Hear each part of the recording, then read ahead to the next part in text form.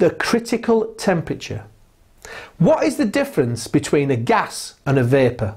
Well, a true gas cannot be liquefied at normal atmospheric temperatures by pressures alone, whereas a vapour can.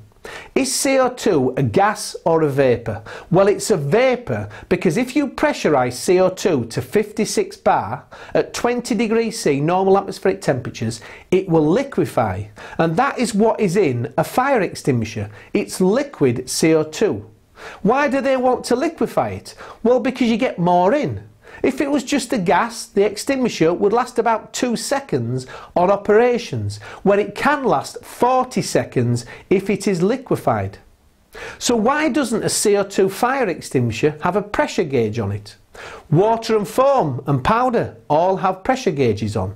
It's because it's liquefied and it's at a pressure of 56 bar. If I operated the CO2 extinguisher for 20 seconds, the liquid level would drop but what would the pressure be? Well, it'd be still around 56 bar.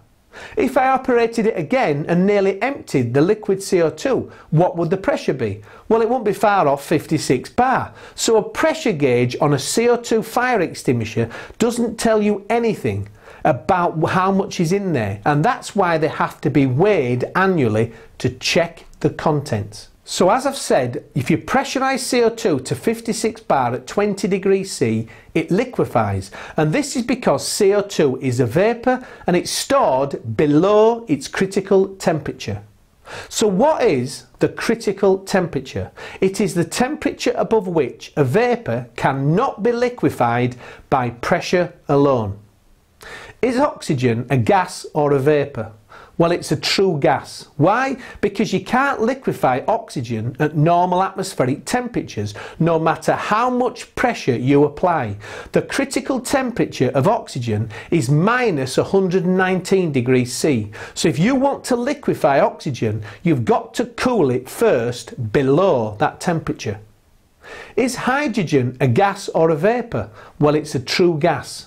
Why? Because you cannot liquefy hydrogen at normal atmospheric temperatures no matter how much pressure you apply. The critical temperature of hydrogen is minus 240 degrees C. So if you wanted to liquefy hydrogen, you'd have to cool it below that temperature. So that's the critical temperature.